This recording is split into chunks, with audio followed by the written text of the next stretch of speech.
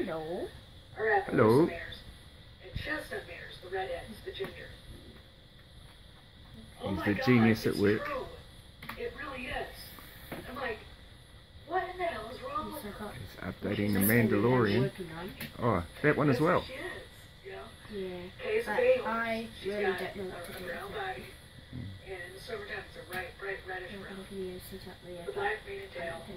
And she's got two little white socks and black legs. Uh, a little white star on her forehead. Oh, so what? It's Sunday So in New Zealand. the most common color. for Ten thirty-five in the no nine thirty-five in the morning. We're watching. Stephanie on Uh, the I, you know, YouTube over there. if we can afford another horse, She's live talking about There's a buckskin mare here that I uh, really, really well, like. all Star Wars stuff. a, a horse, and absolutely. And look at this, the guy he's playing Uh, chess. You have the money to buy her.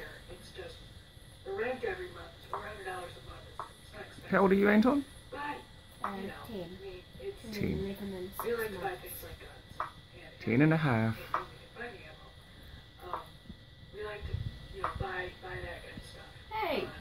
And we've got, you know, uh, stuff in the house to fix up. So it's, you know,